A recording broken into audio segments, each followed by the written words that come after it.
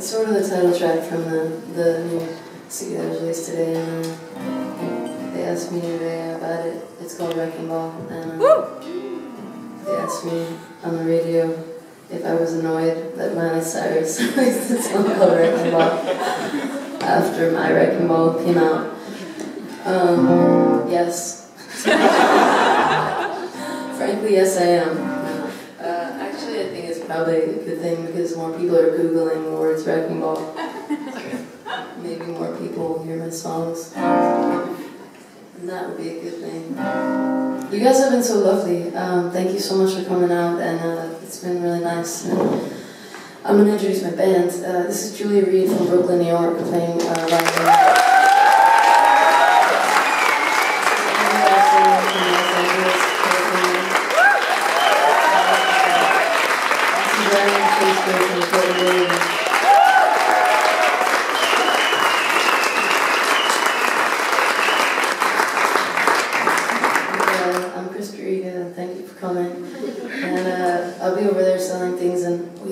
giant posters. Oh, it fell.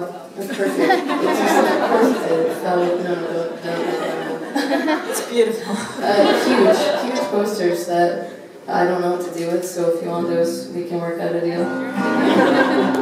Uh, and uh, It has all the Germany dates on it it. does, it's, it's kind of cool, but, um, and then uh, the CDs, I have a bunch of CDs over there. So, um, thank you again so much, and thanks to everyone here at uh, Ampere. And, uh,